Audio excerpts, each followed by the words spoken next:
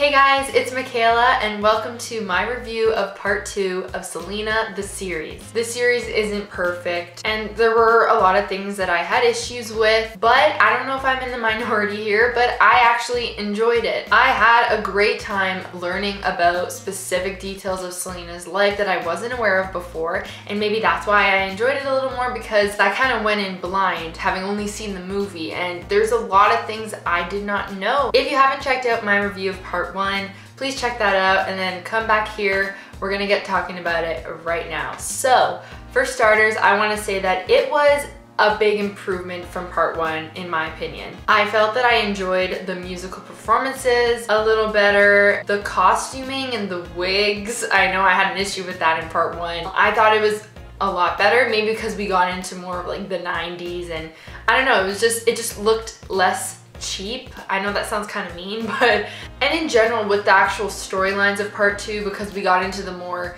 emotional and more intense parts of Selena's life and career, it definitely felt more cinematic at times and less like just a TV show. And on the note, I really like how the show matured as Selena did.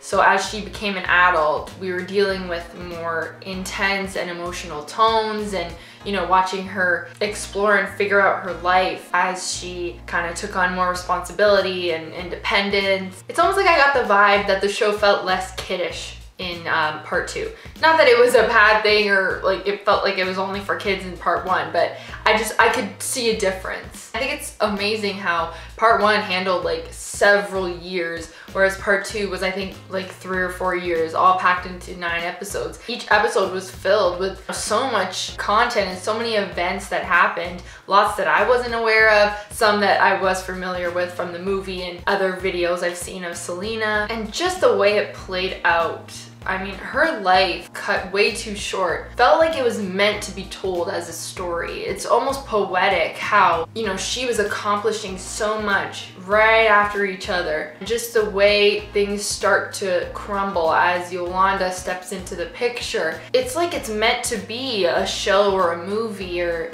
a book. It's so sad. I mean, that's what really got me with this this series, especially part two, was that the whole time I knew what was gonna happen in the end. And as I kept watching episode after episode, I'm like, I don't want it to end. I don't want her to have to die. It was just, yeah, that was definitely hard watching it. And now on to some more specific things that I really enjoyed about the show. One, like I've pretty much been saying, is that we got details. Little things like the rings that Selena wore on her finger, how she had a band-aid on her finger at one point, um, getting to see Selena's sister's wedding and seeing her everyday life and how she juggles work and all her responsibilities it was just cool to see those details because we didn't get to see all of them in the movie. Obviously the movie, you're fitting all that story into like two hours.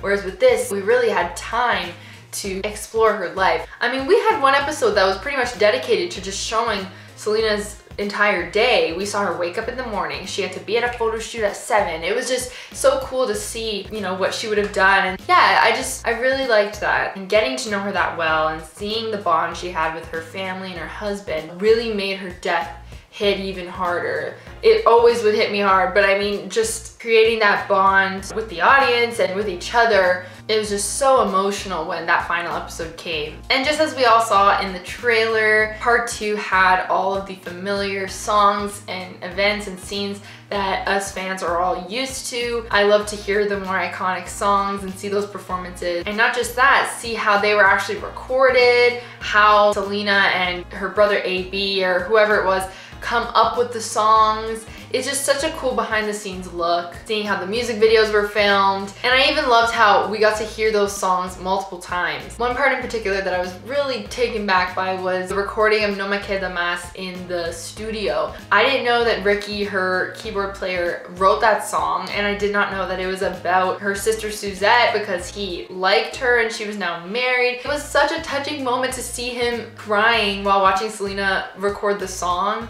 And now every time I listen to that song, it just has a whole new meaning. So that was really awesome how we got to see that. And like I said before, the costumes I felt were a big improvement. And not just that, the outfits, Selena's outfits in the 90s were just iconic. I love that the styles are now back today. She was just so stylish. She was so meant to have her own boutique and fashion line. And the next thing I want to touch on, which might be controversial for some, would be Christian Serratos and her portrayal of Selena. I personally enjoyed her in the role. I think it's automatic that we all compared her to JLo, but I don't think that's really fair. Even if you're comparing her to Selena herself, which I mean is inevitable, I think you have to be able to separate things like her looks. I know it's a big part of playing a real person to look like them, but while she wasn't identical, I definitely saw a resemblance. When she had those outfits on, I knew who she was. It, it, I don't know, I think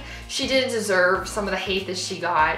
I thought her dancing was better in part two, the lip syncing was better. And like I said in my trailer reaction, I just think she has Selena's charm. Like that smile, her big smile just lights up. I'm gonna touch on capturing Selena's whole essence a little bit in my issues section. For the most part, I really enjoyed Christian's portrayal and I think it's awesome that she is showing Selena to a whole new generation of fans and I think that's all we can ask for, right?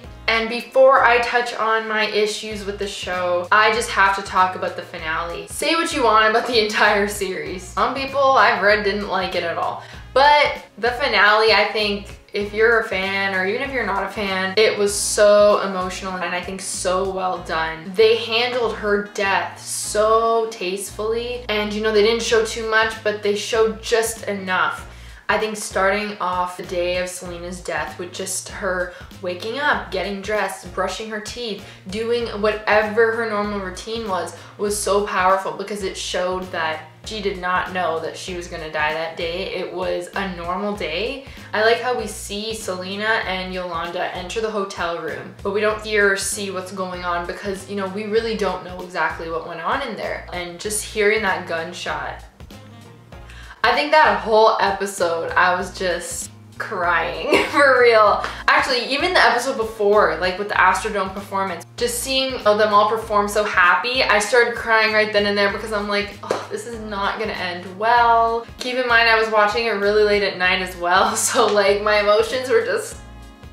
yeah, but what really got me, not only the family listening to Dreaming of You and mourning, but when the guy at the record company, I don't know his name, when he started breaking down and crying, he bawled and I was just done. And while I was a wreck, I was really happy that they ended on a happy note. Just seeing Selena alive, performing Bidi Bidi Bom Bom. I know it was replicating a past concert, I think from 1994, but I almost saw it as her performing, you know, like in heaven. Everything was dark, you just saw the stars around her. She had her family with her. Uh, I just think that was more of like a symbolic thing because that's where she felt most at home. She's just wearing all white. I'm not sure if that was the goal, but I don't know. For some reason, I interpreted like that and it just made it more sad for me. I really loved the last shot Selena comes off stage and her sister takes a photo of her. You get one last glimpse and then she just walks off into the darkness. That too, bawled. But yeah,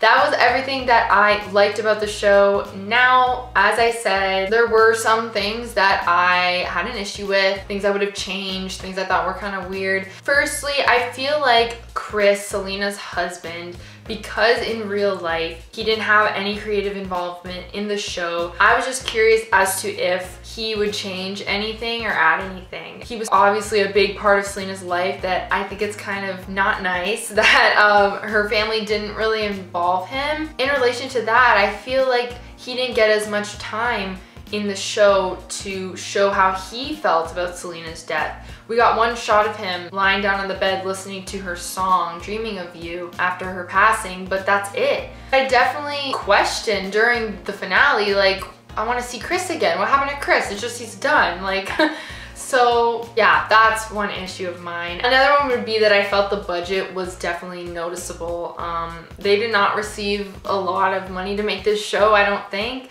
Um, filming through COVID didn't help as well, but a lot of the times you could tell that, you know, they were just on a built set Um, there was green screen. I mean, just look at the Astrodome performance. I'm pretty sure we got like reused shots from the movie of the stadium. There was definitely green screen when you saw Selena looking out and waving. You can see that it you know, it wasn't real. I know it's not really their fault, but you know, it would have been nice to have a little more of a budget. And now while I said I, I really liked Christian's portrayal of Selena, I definitely think that both her and J Lo didn't capture her entire essence. When I watch videos and interviews, she was so funny and always like cracking jokes and always laughing with that huge smile. There were hints of it with both JLo and Christian, but I don't think either of them really got to that joking side of her. And this next issue, it's more just something that I found kind of weird, and I don't know if anyone else noticed it, but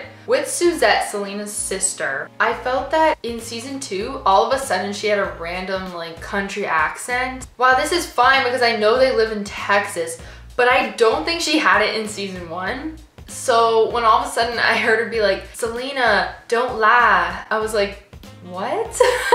it just made me laugh because it would just come out different words. It was, yeah, that was kind of weird. And then the last thing that I would add would be at the end of the series, a picture of the real Selena, maybe a little video clip, even of her whole family, her and Chris, because you know we we go through this whole show seeing the actors. And just like in the movie I really appreciate seeing the real people at the end. So that would have been good. I was really expecting it and surprised that they didn't include that. But yeah those are my thoughts on Selena the series. Once again it wasn't perfect but I think it did its job for me. It made me more of a fan of her. I've been listening to all of her songs on Spotify. I have a Selena playlist now. While there are obvious, you know, haters on this show, I think we should just all appreciate that her legacy is continuing and more people are seeing how much she was able to accomplish at such a young age that, you know, her life was cut way too short. So on that note, comment down below what you thought of Selena the series. Subscribe to my channel if you have not already and don't forget to hit that like button. Thank you guys so much for watching and I will see you guys in my next video. Bye!